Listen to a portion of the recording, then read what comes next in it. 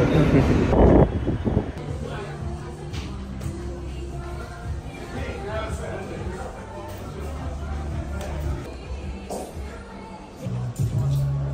pretend to go pose with it. Just go do it. Go sit in it, please. No, you gotta, you gotta go sit in it. Do you want a fit pic or not? No, I don't. You can, you can sit there if you'd like. Do you think you'll get tattoos ever? Probably not. Is it because you can't do it? Can't, can't suffer in silence? Yeah. You said you got these on Pinterest? Yeah. What is that?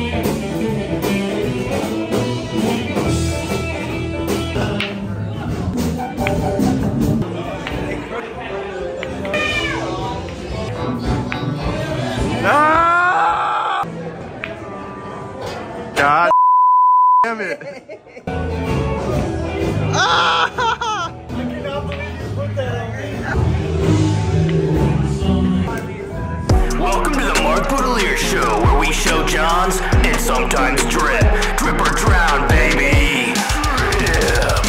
Hey everybody, welcome back to the channel. It is I, Mark, Mark Boutilier, and today we are going to be talking about pants. But not just any pants, baggy pants, very baggy pants, and jeans, and other pants. Anyways, before we get into that, if you're new here, hi, welcome, and subscribe. And if you are returning, thanks, appreciate it. Um, enjoy the video. How baggy is too baggy for a pair of baggy jeans? That is the question that we're gonna be answering today, as well as we're gonna be talking about the different types of baggy jeans, the do's and don'ts of buying into a pair, some of my personal pairs of baggy denim slash pants, brands that I like, and we'll even explore some other silhouettes that you should check out, try out, whatever. But first and foremost, how did we even get here? Obviously, I've been on TikTok for like three years. I've seen the pants go from sort of a straighter leg to a little bit baggier to a little bit baggier. And now all of a sudden we're at like ginormous status. And at the same time, I keep seeing TikTok brands, Instagram brands, whatever, all sort of making the same baggy jean. Pretty much what I'm getting at is that the baggy jean is the new cropped hoodie for a streetwear brand to make. But my question is, when is this trend gonna end? Are we gonna see a skinny jeans revival anytime soon? And in my opinion, I'm thinking that that might just happen. The thing is, is that I'm not really sure we can get any baggier than what we're currently at. So the only way that we can really go is the opposite end, which is slimmer. Obviously, this isn't gonna be overnight. It's not gonna be in the next week, the next month. But like over the course of the next year or two, I wouldn't be surprised if people were either wearing more of a slimmer silhouette or maybe even going all in and wearing some super skinny jeans. All right, let's get into my personal pairs of baggy pants slash jeans. This probably is not all of them, but it's what I'm gonna show you today, so enjoy. First and foremost, we have the pair that I'm currently wearing. If you were watching closely in the beginning of this episode, you would have seen me wearing these in the fitting room. It's a pair of women's Our Legacy jeans. I really sort of like the effect on the front of them, and then because they're women's, I feel like it kind of hugs my hugs my cheeks in a nice little manner. Next up, we have this pair of HBT pants from the brand Bare Knuckles. These obviously are just inspired by sort of the vintage military pants, but in a slightly wider cut. They don't really have like a ton of shape to them. It's mostly just baggy pants, but I don't think they're overdoing it either. I haven't worn these too, too much because they are also really long, but uh, I'll probably get them hemmed soon and then you'll probably see me wear these more. Moving on to a pair of vintage trousers. These right here are great.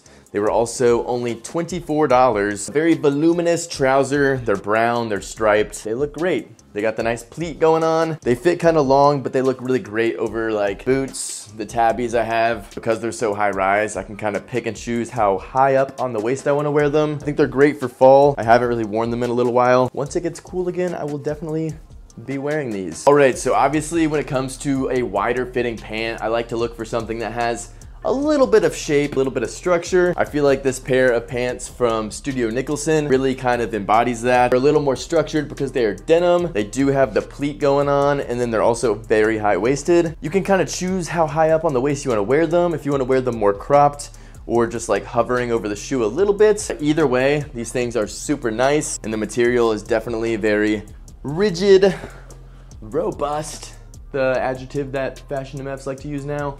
These are great. All right, and lastly, we have two pairs of cargo pants from the same brand, and that is Story MFG. We'll start with the older pair, and it is this pair of black cargo pants.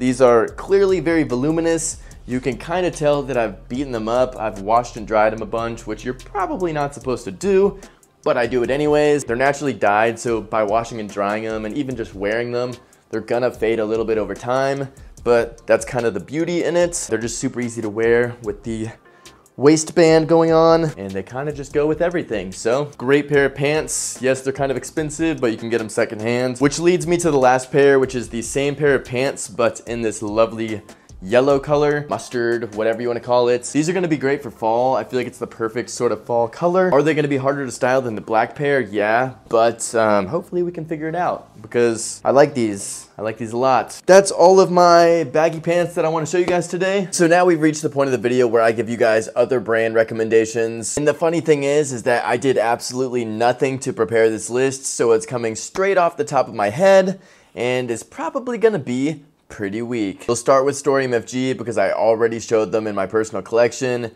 and I just think that they're really great. I also do want to include our Legacy. I feel like they're a little bit more classic in terms of the fit, but still going to be a little bit more baggy. I am going to include Studio Nicholson because I feel like they do a really great job of bringing more of a contemporary vibe to it all, and it's going to look a little bit more dressed up. Now we're going to go crazy and bring in 18 East. I feel like 18 East is a great alternative to Story MFG if you don't want to spend nearly as much money, and it's going to be a little bit more of a streetwear vibe. It would also be ridiculous if I didn't talk about going thrifting or going to some sort of vintage shops and looking there. You'll You'll really be surprised what you find. Now, obviously, the whole baggy trend is very 90s, early 2000s. So if you want to get the real authentic stuff, then I guess that's what you got to do. If you do have a higher budget or you're to shop secondhand, I also recommend Engineer Garments. Not all of their stuff is that baggy, but they do just make really great pants. Kapital, obviously, we've seen Kapital and they make good pants. They make baggy pants. Same goes for Needles. We all know about the Needles HD pants, but honestly, they're just way better than all the random streetwear brands that decided they want to make over pants. Most of those are dookie. There is another store slash brand brand that I'm trying to think of that's not coming to me that I'm probably just gonna flash up on the screen right now. And then because I'm running kind of dry, I'm probably just gonna put a bunch of names on the screen right now and then you guys are gonna just have to pause or whatever.